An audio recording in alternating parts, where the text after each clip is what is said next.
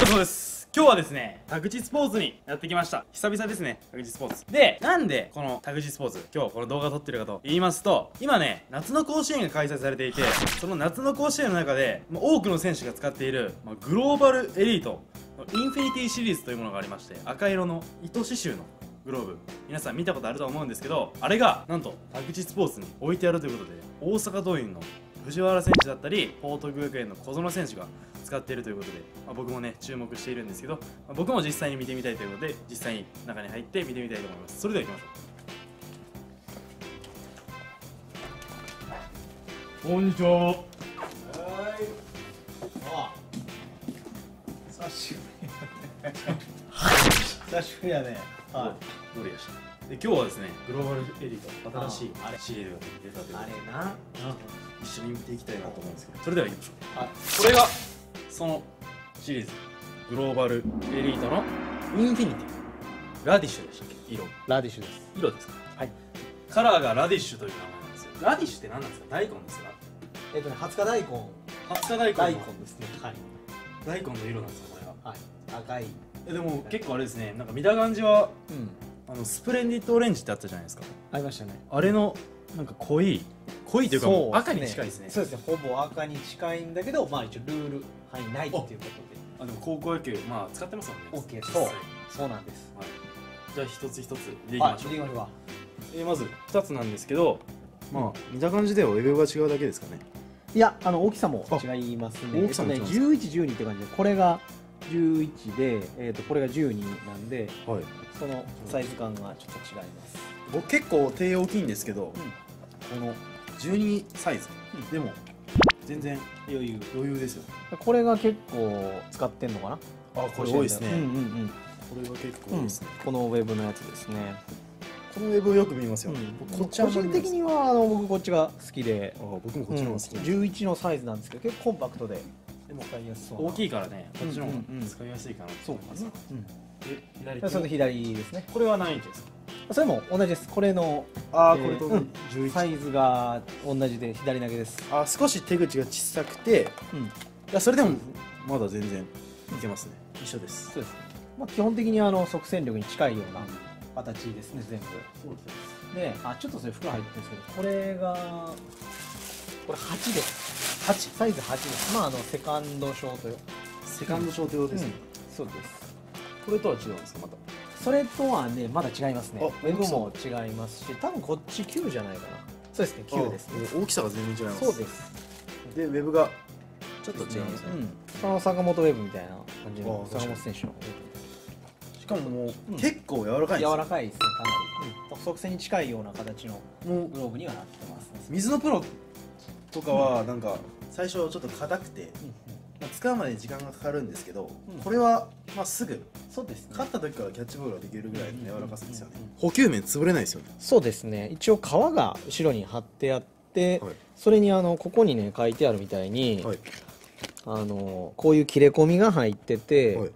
こうなんて言うんだろう。曲げた時におこの切れ込みが、まあ、おう。まく曲がってシワにならないというか。でただ皮を張ってるだけじゃなくてこういう切れ込みが入ってますと。なるほど。いうことで、まあ、へたりにくさもこれ出てこれがあのあ。有名選手も使ってるこれあれでですね。小園選手が使ってますよね、そうですね。全く同じモデルなんですかねこれは。そうですね。このモデルを使ってるっていうことで今あの甲子園で使ってる選手は皆さんこういう大体これですかね。そうですね。こういうのとかまああのラディッシュって言ったらもうこれこのシリーズを使ってるってことです。なるほはい。ど今までのグローバルエリートいや似てるんですけど補給面が強くてでも柔らかいところやるんでなんか使いやすいなっていう感じですね、はい、で次まああとは外野ですね。外野手外野が、はい、左と右が。この左があれですよね大阪桐蔭の藤原選あ使ってましたよね。これも一応あの今 18N っていうあの基本的に。ゴリスポ君が使ってる梶谷とか。ああいうのと同じようなですね。手でも有名選手が使ってたらねまあ使いたくなりますよ。ねですか。だ 確かに。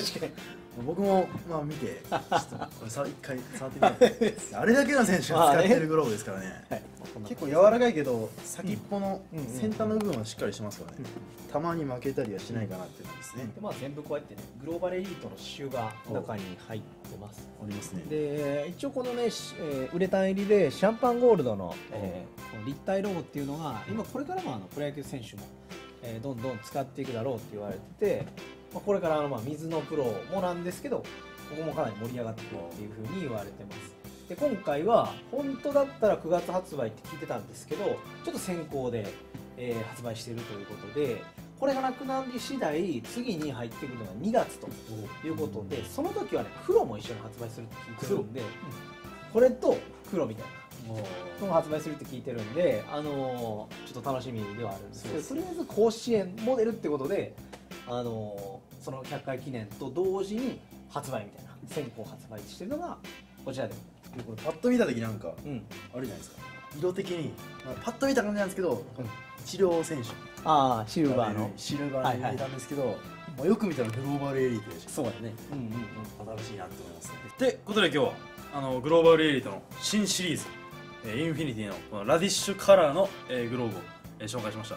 で今は甲子園が、えー行われているのでえー皆さんもぜひ秋の大会に向けてこのまあ、甲子園球児と同じグローブを使ってレギュラーを目指して、えー頑張ってみてはいかがでしょうか、えー、なくなり次第終了なので、えーぜひ皆さん急いで、えーご購入くださいということですね。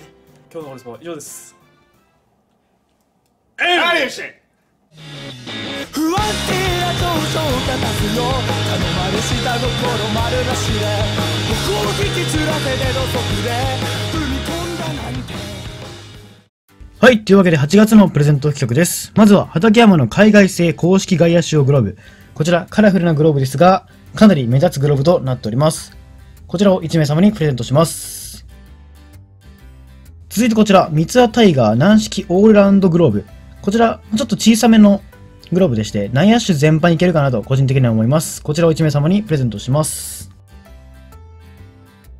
最後は、ウィルソン女子ソフトボール用グローブ。